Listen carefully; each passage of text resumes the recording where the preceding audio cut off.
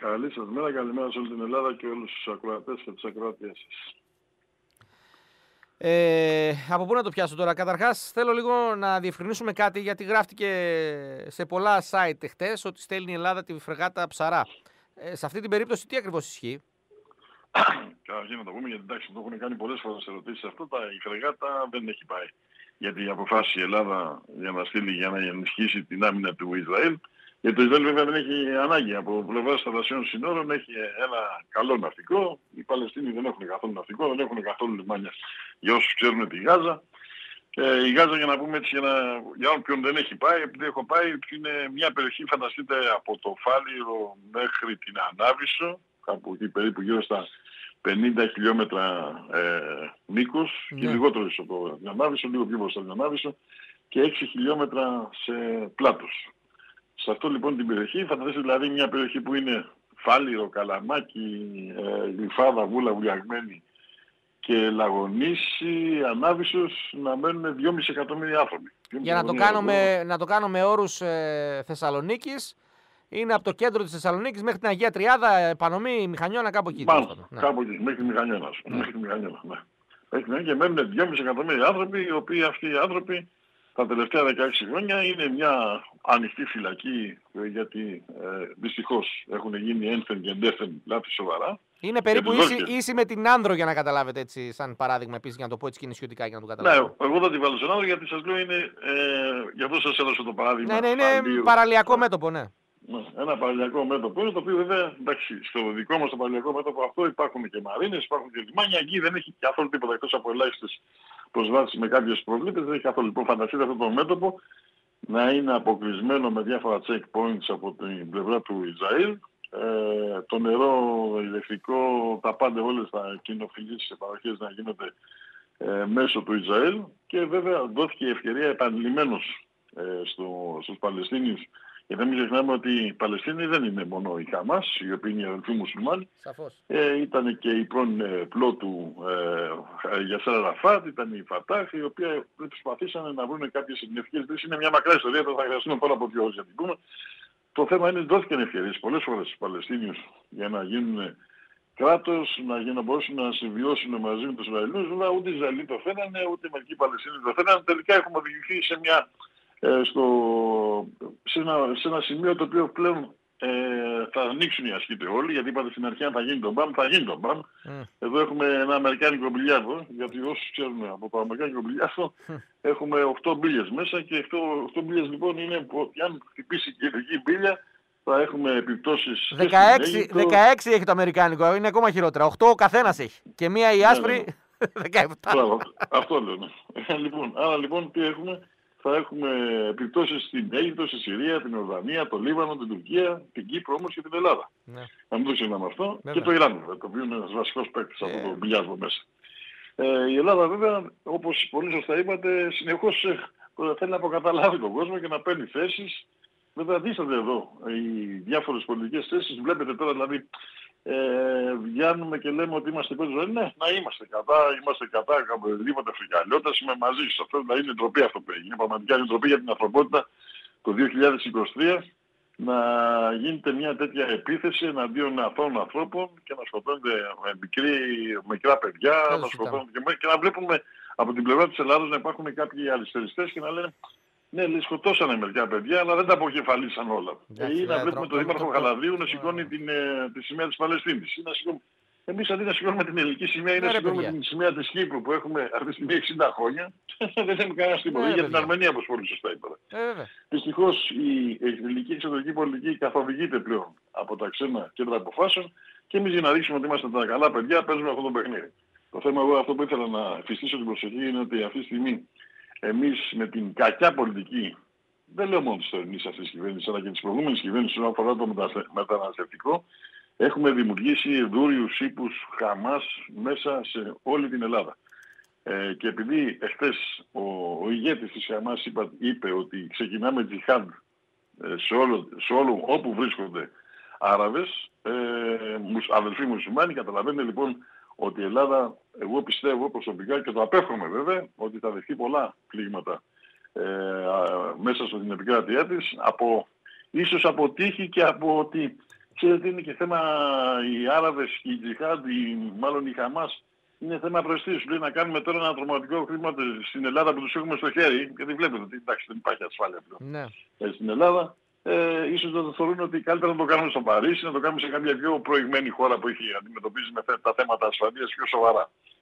Ε, το θέμα είναι ότι αυτή τη στιγμή ότι αν χτυπήσει η, η μπάλα, όπως είπατε και εσείς, ε, τις υπόλοιπες, ε, θα έχουμε μια ένα ντόμινο εξελίξεων. Πάντως, κύριε, Πολίτη, κύριε Πολίτη ε, ε, είναι άκρος ανησυχητικό. Βέβαια, δεν το λέμε πρώτη φορά, ούτε πέφτουμε από τα σύννεφα ότι έχουμε τέτοιους θύλακε εξτρεμιστών μέσα στην Ελλάδα. Ε, είναι γεγονός. Το, το, το πιο σοβαρό. Ναι, ναι, ναι, το έχουμε ξανασυζητήσει. Αλλά αυτό που λέτε, ότι, και αυτή είναι η εξέλιξη, ότι έχει καλέσει ο ηγέτης της Χαμάς τους μουσουλμάνους σε όλο τον κόσμο, τους εξτρεμιστές, σε τζιχάντ, σε ιερό πόλεμο δηλαδή. Αυτό σημαίνει τζιχάντ, να το ξέρετε.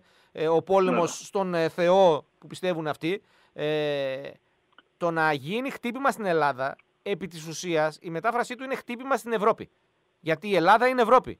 Οπότε δεν είναι απίθανο, δηλαδή να, δεν είναι απίθανο να πούνε ότι εγώ θα προτιμήσω να χτυπήσω το Παρίσι, αλλά όχι την Αθήνα ή τη Θεσσαλονίκη ή οτιδήποτε. Έτσι. Η Ελλάδα είναι Ευρώπη. Και πρέπει να το ξέρουμε αυτό.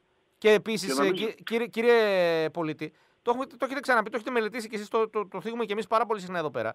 Είναι ότι πόσο έτοιμοι είναι αυτοί για αυτό το χτύπημα ως λαός οι οποίοι είναι άντρες, σε συντριπτική πλειοψηφία, νέοι, οι οποίοι έχουν προσλαμβάνουσες πολύ σκληρές στην, ε, στην, ε, στην ανατροφή τους, μεγάλωσαν σε πολύ δύσκολα ε, σημεία και βρίσκονται τώρα στην Ελλάδα, απέναντι σε εμάς, οι οποίοι δυστυχώς είναι ο Έλληνες, στη συντριπτική πλειοψηφία των Νεοελλήνων είναι βούτυρομπεμπέδε. Θα πάρουμε μαχαίρι στα χέρια μας. Θα πάρουμε μαχαίρι στα χέρια μας. Μαχαίρι τώρα, δεν λέω για όπλο. Μαχαίρι στα χέρια μας, κύριε πολίτη, και θα ψάχνουμε να βρούμε από πού κόβει. Ναι. Όχι, θα κοπούμε, λέω, θα κοπούμε. Αυτό είναι αλήθεια, γιατί δυστυχώς οι, όλες οι μετακυβερνητικές πολιτικές με το 1974 και μετά δεν έχουν τηρήσει μια σωστή πολιτική όσον αφορά τα θέματα επιστράτευσης. Δηλαδή δεν μπορεί η Ελβετία, η οποία δεν έχει καθόλου εχθρούς, κάθε χρόνο ένα μήνα να πηγαίνουν είτε δουλεύεις μέχρι τα 45 είτε να είσαι διευθυντής σε εταιρεία είτε σε τράπεζα να πληρώνεις κανονικά το μισθό που παίρνεις και να πηγαίνεις ένα μήνα εκπαιδεύεσαι στα όπλα εμείς δυστυχώς δεν, ε, με το θέμα της επιστράτευσης έχουμε διακόψει πλέον σχέσεις. Ε, δεν, πλέον ελάχιστες, ε, ελάχιστους ανθρώπους πλέον επιστρατεύουμε, γιατί δεν έχουμε λεφτά, μονίμως δεν έχουμε λεφτά. Και βλέπετε το θέμα της επιστράτευσης το έχουμε πάλι στα δουλάπια και σε σιτάρια. Δεν μας ενδιαφέρει πλέον, έχουμε γίνει ναι. όπως λέτε. Ναι, ναι, ναι, ναι. Και εγώ θα ήθελα να, να μεταφέρω λίγο και τη σκέψη. Βλέπετε ότι οι Παλαιστίνοι μάχονται, μάχονται, όχι, κακώς, τέλος πάντων, να μην το λέω μαχητές, γιατί δεν μου άρεσε αυτή η λήψη για τους Παλαιστίνους Χαμάτ. Υπερασπίζονται ε, τη, τη, χώρα τους, τέλος πάντων, την πατρίδα. Ναι, το, προσπαθούν να υπερασπίζουν τη χώρα τους εναντίον των Ιραζινών και οι Ισραηλοί καλά κάνουν και υπερασπίζονται και αυτή τη χώρα τους. Εκείνο όμως που θα ήθελα να μεταφέρω λιγάκι είναι 60 χρόνια τώρα που έχει γίνει ε, εισβολή από τους Τούρκους στην Κύπρο, ε, δεν βλέπω κανένα Κύπριο ή κανέναν Έλληνα να κάνει κάτι, ένα αντάρτικο εναντίον των Τούρκων και εμείς λέμε πάλι το διεθνές δίκαιο, θα τα βρούμε το διεθνές δίκαιο, θα πάμε στον ΟΗΕ κτλ. Εδώ βλέπουμε μια διαφορά αντίληψης και διαφορά πώς βλέπει ο καθένας την ασφάλεια. Και η δικιά μας η συμπεριφορά είναι βολική προς αυτό το οποίο θέλει να κάνει η Δύση. Γιατί η Δύση ουσιαστικά επέτρεψε να γίνει όλη αυτή η ιστορία. Έτσι. Οπότε εμείς παίζουμε το παιχνίδι της Δύσης και δεν αντιδρούμε. Καλά κάνετε και το λέτε. Θέλω να ρωτήσω κάτι, κύριε Πολίτη, χωρίς να θέλω να είμαι ούτε να τρομοκρατήσω, αλλά πρέπει να ξέρουμε λίγο πώς διαμορφώνεται αυτό το σκηνικό. Γιατί χθες κάναμε μια κουβέντα και νομίζω ότι θα την αναλύσω πιο έντονα τις επόμενες ημέρες, ε, γιατί υπάρχει ενδιαφέρον από τον κόσμο, το αν θα πρέπει να έχουμε ένα σχέδιο δράσης ως πολίτες. Γιατί είπατε, δεν έχουμε να περιμένουμε. Δηλαδή, η πολιτεία δεν ξέρω πόσο μπορεί να μας προστατεύσει, εάν έρθει η στραβή.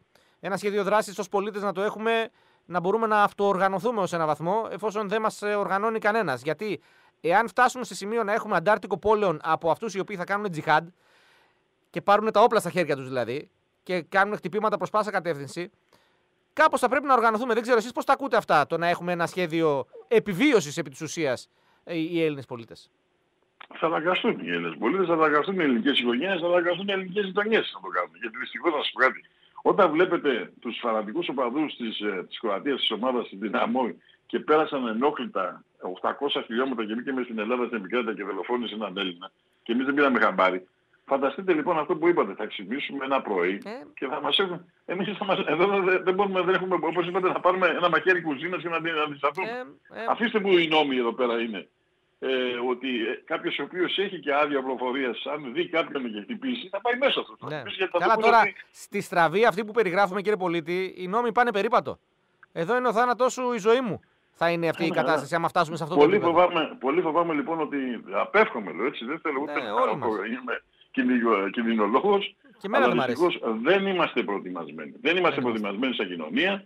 Δεν είμαστε προετοιμασμένοι σαν άνθρωποι, δεν είμαστε προετοιμασμένοι σαν, ε, σαν πολιτεία να αντιμετωπίσουμε μια τέτοια απειλή όπως είπατε και εσείς. Και, αυτοί και, δεν είναι βουτυροπεμπέδες αυτοί που έχουν έρθει εδώ πέρα, που βγαίνουν κάθε μέρα. Και το μπαμ πρέπει να το καταλάβουμε, το μπαμ είναι πολύ βίαιο. Τέτοιο μπαμ, τέτοιου είδους ε, ε, χτύπημα δεν θα είναι κάτι το οποίο θα έχει προετοιμαστεί. Και εγώ πιστεύω δηλαδή ότι αν γίνεται αυτό, αν θα γίνει συνολικά, δηλαδή θυμάμαι τον τρόμο που επικρατούσε στο Παρίσι το βράδυ που γινόντουσαν τα τρομοκρατικά χτυπήματα, το ένα πίσω από το άλλο. Συμφωνώ, συμφωνώ πολύ. Έτσι. Ε, το θέμα σας είπα ότι πρέπει να αλλάξουμε όλοι, όλοι, όλοι, όσοι και αυτοί που μιλάμε τα μαζί σας, μιλάμε μαζί και όλοι ναι, οι ναι, πρέπει να αλλάξουμε το θέμα πώς αντιμετωπίζουμε την ασφάλεια. Εχθές μίλαγα με έναν φίλο μου, ε, ο οποίος είναι διευθυντής σε μια μαρίνα στα Ροδεκάνησα. Μου έλεγε λοιπόν ότι προχθές είχε πάρα πολλούς Ισραηλινούς πελάτες που είχαν έρθει με τα σκάφη Την επόμενη μέρα που έγινε το τρομοκρατικό χτύπημα ε, της ε, Χαμάς στο Ισραήλ, ξεδικάμε, mm-hmm. πήραν τα σκάφη τους όλοι και είπαν φεύγουμε, σταματάμε τις διακοπές και γυρίζουμε πίσω να περασπίσουμε την πατρίδα μας. Και εγώ αναλογίζουμε. Αν γινόταν ένα τρομοκρατικό χτύπημα, οι ανάλογοι οι οποίοι θα βρίσκονται στην Μύκονο θα, θα γυρίζανε πίσω για να περασπίσουν την πατρίδα τους, ξέρετε τι θα κάνουν. Θα παίρνουν τα ιδιωτικά, τα ιδιωτικά τέτοια πηγαίνουν στο εξωτερικό. Έξω βέβαια αυτό. Ούτε μία στο εκατομμύριο. Αυτή, δυστυχώς. Αυτή είναι δυστυχώς η νοοτροπία που έχουμε φυσήσει στους Έλληνες να μην πάνε να υπηρετούν. Πηγαίνετε να δείτε πόσοι παίρνουν γίνονται γιώτα 5 και δεν υπηρετούν. Ε, έχω πολλά τέτοια περιστατικά. Τώρα που πάτε να μην υπηρετούν. Ναι, ολοκληρώστε, ολοκληρώστε. Ναι, υπάρχουν περιστατικά αυτή τη στιγμή τώρα που γίνονται εκλογές σε μεγάλο δήμο της Αθήνας, μεγάλο δήμο της Αθήνας, ο οποίος έχει ψυχοσικά προβλήματα για την υπηρέτηση και θέλει να ηγηθεί ενός μεγάλου δήμου της Αθήνας. Λοιπόν, από εκεί πέρα τι ψάχνετε να Εντάξει, εδώ έχουμε, εδώ έχουμε αρχηγό αξιωματικής αντιπολίτευσης που είναι λέει περήφανος που θα πάει στρατό για 20 μέρες, ενώ μπορεί να πάει 6 μήνες. Είναι γελίες καταστάσεις, είναι πραγματικά γελίες καταστάσεις. Η Ελλάδα πλέον έχει χαθεί ο έλεγχος. Εγώ πιστεύω ότι ή πρέπει να αλλάξουμε νοοτροπία ή θα χαθούμε σαν έθνο. Εγώ το πιστεύω ακράδαντα και το φωνάζω συνέχεια στα ραδιόφωνα και στη τηλεόραση. Πάντως αυτό που λέμε για να ολοκληρώσουμε την κουβέντα μας, ε, κύριε Πολίτη, επί της ουσίας ότι πρέπει να έχουμε ένα σχέδιο στο πίσω μέρος του μυαλού μας να υπερασπιστούμε, ρε παιδί μου, αυτό, αυτό που ο καθένας πρέπει να υπερασπιστεί τα παιδιά του, την οικογένειά του, τα γυναικόπαιδα. Τώρα, ξέρετε, αυτό χτυπάει άσχημα στα αυτιά των ε, δικαιωματιστών που θέλουν να είναι της ΛΟΑΤΚΙ πλάση, walk agenda τέλος πάντων. Δεν μπορούν να ακούνε για γυναικόπαιδα. Αλλά στην τελική, τα γυναικόπαιδα πρέπει να τα προστατεύσουμε. Τουλάχιστον οι Έλληνες άντρες. Τι να κάνουμε; Έχετε απόλυτα δίκιο. Ε, Εγώ επειδή ξέρω την εκπομπή σας την ακούνε πάρα πολύ. Ας ξυπνήσουμε λοιπόν όλοι οι Έλληνες γιατί κάποια στιγμή θα, ένα πρωινό δεν θα, έχουμε, δεν θα ζούμε στην ήσυχη Ελλάδα την ήρεμη που ζούμε τώρα. Θα βρούμε καταστάσεις οι οποίες είναι έρκμες και λυπάμαι ειλικρινά που βλέπω διάφορα πολιτικά σώματα που λένε ελάτε κι άλλοι μέσα από το Αιγαίο, ελάτε κι άλλοι από τον Εύρο και να σας σωματώσουμε. Ναι, το έλεγα. Είναι, είναι... Αυτή η επιχείρηση είναι, είναι, ανήκει στον όμιλο Μητσοτάκη. Πριν από λίγο καιρό ήταν Μηταράκη Τούρ, τώρα είναι Κερίδη Τούρ. Είναι, είναι business καλή, είναι καλή business αυτή. Όχι, ναι. είναι και από, και από δεν είναι μόνο από ναι. την κυβέρνηση, είναι και από αξιωματικές αντιπολιτεύσεις. Δηλαδή, εγώ άκουσα τον χθεσινό δήμαρχο τον υποψήφιο της Αθήνας και λέει ότι ελάτε Έχουμε 20% αυτή τη στιγμή ε, οι οποίοι είναι αλλοδαποί με ζούμε σε αλλά δεν το σωματώσουμε Λοιπόν, είναι, αυτά κάποια στιγμή θα τα πληρώσουμε σοβαρά. Πρέπει να το καταλάβουν αυτό όλοι οι Έλληνες. Και από ό,τι καταλαβαίνω... Ανεξαρτήτως πολιτικών υποπηχήσεων και πολιτικών τοποθετήσεων, θα πρέπει να καταλάβουν ότι αυτή τη στιγμή κινδυνεύει η χώρα, κινδυνεύει το έθνος. Αυτή κάποια στιγμή νομίζω ότι είναι πολύ κοντά. Να είστε καλά κύριε Πολίτη, σας ευχαριστώ πολύ. Καλημέρα σας. Καλά και εσείς. Γεια σας. Καλή σας μέρα. Γεια σας. Γεια σας.